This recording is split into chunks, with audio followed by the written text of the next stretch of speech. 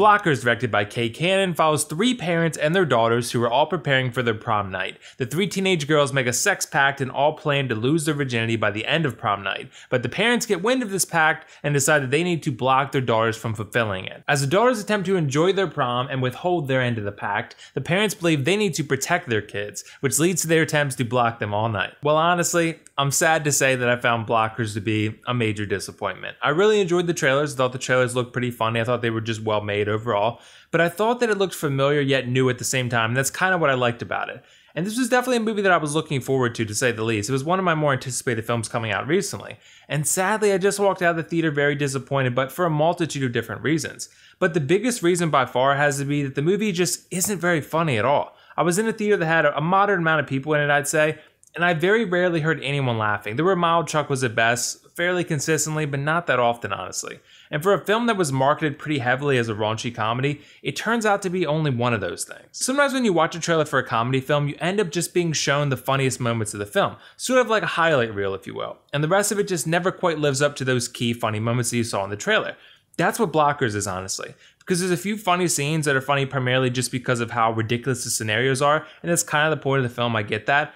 But that's honestly about it in terms of the overall comedic output of the movie, because the rest of the movie is just littered with jokes that don't land and just aren't written very well. I mean, I definitely felt like all these actors were really overcompensating and trying to overcome a poor script here. A script that does none of the actors any favors, honestly, because they can really only do so much with material that's just not funny and lacks creativity. Ike Barinholtz, Leslie Mann, and John Cena all have their moments and they do their best, but it just doesn't work overall. And it's honestly not even a big deal to me that their characters are fairly uninspired and kind of generic because if they were funny, I think most audience members, including myself, could look past that because it's a raunchy comedy. It's supposed to be over the top and funny and silly and not super thoughtful with great characters or anything. But the problem here is that these characters aren't that funny, at least not very often. And when you combine that uninspired, generic character development and growth with jokes that just don't land overall, you got a bad recipe. Kathryn Newton, Gideon Adlon, and Geraldine Viswanathan play the teenage girls here, and I think they all do a nice job overall. I think these characters and performances actually do work because the chemistry is there, and they're not really asked to be overly funny too often. They're not very funny either as characters,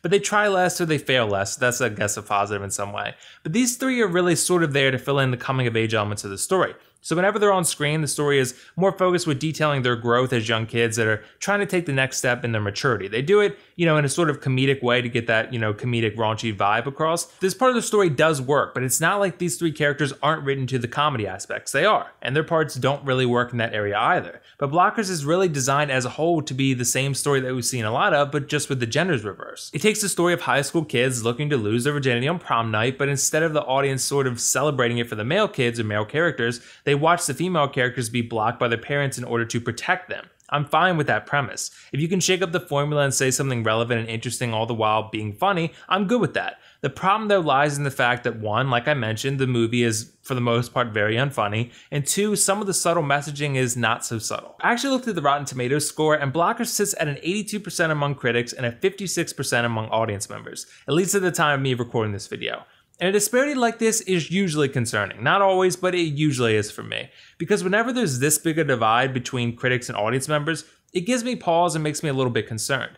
And it's honestly really difficult to say why a divide like this would exist, especially for a film like Blockers, but it could possibly be because critics and audience members may be looking for different things here. I'd say that more than likely general audiences are looking for a hilarious and ridiculous comedy experience, and sadly Blockers doesn't deliver on that front. The critics on the other hand are probably looking for something a little more insightful and groundbreaking, which Blockers is in a way. There's probably fundamental differences between what different audiences are expecting out of this film, and your expectation going in will probably influence your eventual opinion on it. Because I like the premise. I like to see how we interpret these high school girls losing their virginity and maturing and growing up, and how parents and others feel the need to protect and save them. But with guys, we celebrate them and cheer them on in a way. That's an interesting topic and an interesting issue to address, and Blockers actually does so solidly overall. Some of it is a little heavy handed and lacks subtlety, like I mentioned, but overall, I would say that it works. Sadly, the comedy, which is the primary focus and the reason that most people are in the seats in the theater, is very poorly written and ultimately not well executed and it just disappoints, which is a major, major problem. So if you're looking for a formula you've seen many times before, just altered just enough to change the focus of the story,